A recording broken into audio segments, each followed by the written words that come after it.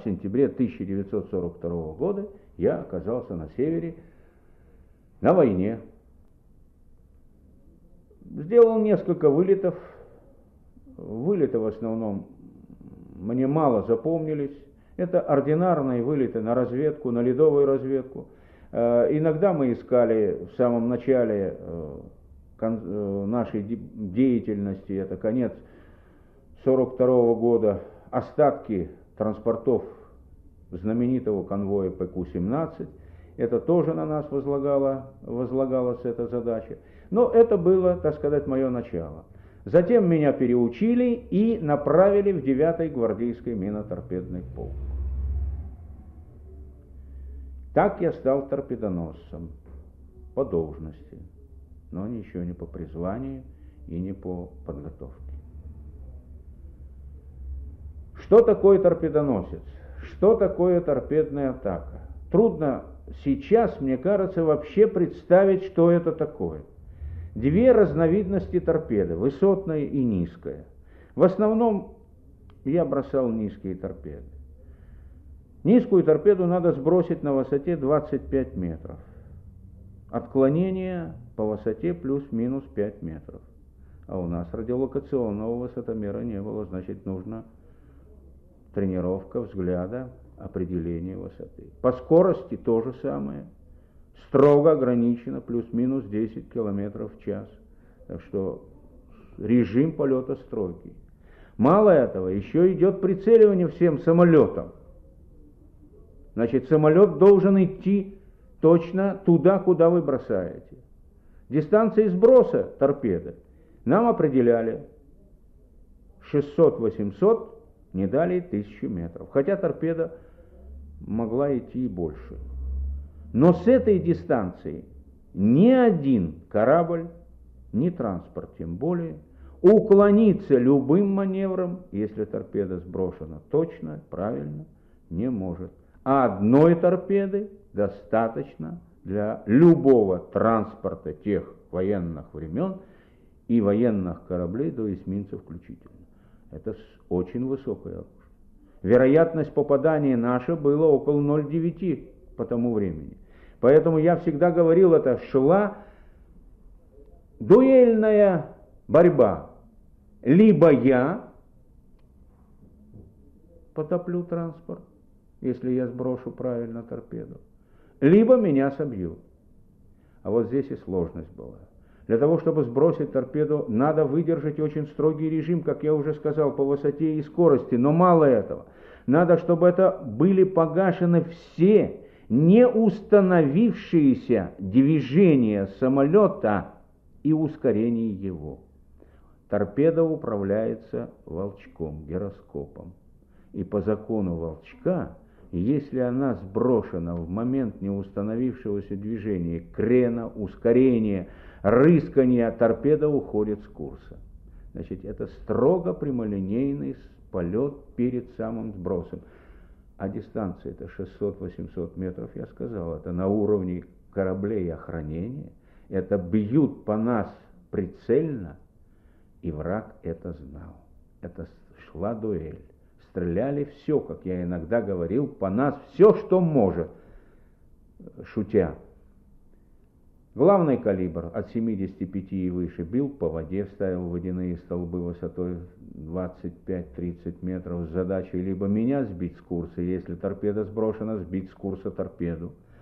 А, меньший калибр бил шрапнелью на моей высоте, а все остальное, малокалиберные артиллерии, пулеметы, это били трассирующими пулями. Если сейчас вот вспоминаю, это феерическая картина. Представьте себе, горизонт развечен серпантинами э, светящихся трасс, которые тянутся к вам, пересекают ваш курс.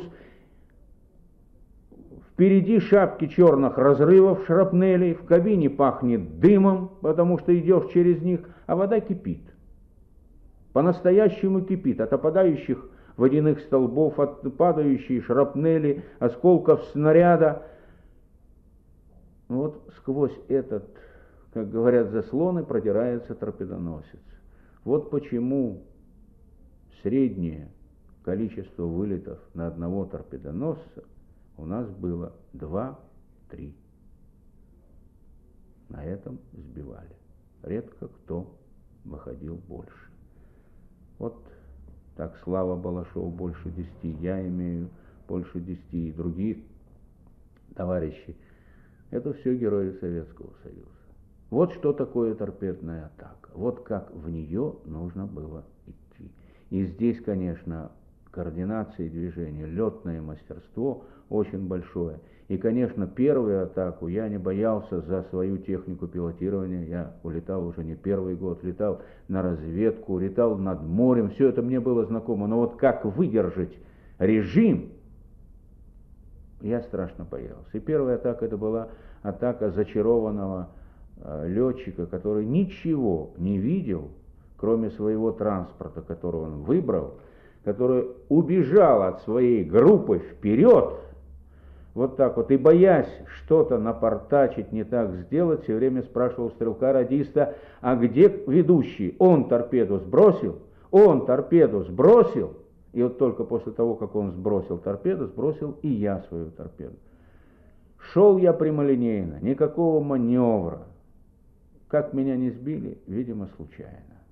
Что из себя представляло вообще так, и я сейчас уже сказал, не могу повторить. Но зато вторая атака, я помню ее, помню хорошо. Она была подготовлена. Ибо торпедная атака начинается не в воздухе, не даже с подъема самолета с аэродрома. Для нас она начиналась с э, перехода в дежурство в землянках. Мы лежали и ждали вылета. Где-то в штабах решали задачу, когда нас поднять, как пойдет конвой, где, в какой точке его надо атаковать. Да и, и противник, гитлеровцы тоже решали, как им быть, потому что они всегда знали, что их будут атаковывать в том районе, где мы достаем их. И они иногда ускоряли, и нам приходилось спешить, а иногда они заводили конвои э, в фьорды, в бухточки, вот там тогда нам приходилось ждать. Это тяжелая, напряженная обстановка.